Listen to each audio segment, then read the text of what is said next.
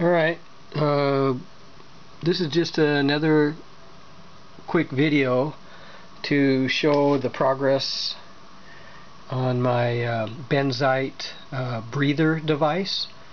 Uh, in Star Trek, uh, the characters uh, Mordock and Mendon, which of course were played by the same actor, each had their own breather device.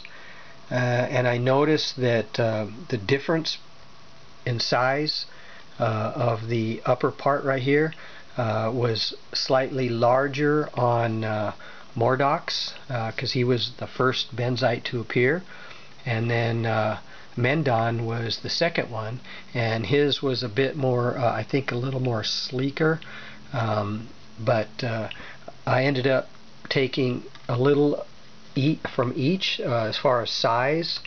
And so basically there's going to be uh, a door placed on the back there where the batteries go and wires will run up through the tube here and in the back portion here will be uh, amber or maybe a kind of an orange uh, LED uh, a bunch of them around here. I'm probably going to have maybe I don't know 10 LEDs from side to side and of course there's another portion that goes uh, inside there which I'm printing as we speak.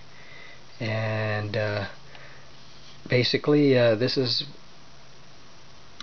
what it looks like so far. So I think for lack of any reference measurements or materials uh, just based on what I've seen in the episodes uh, I think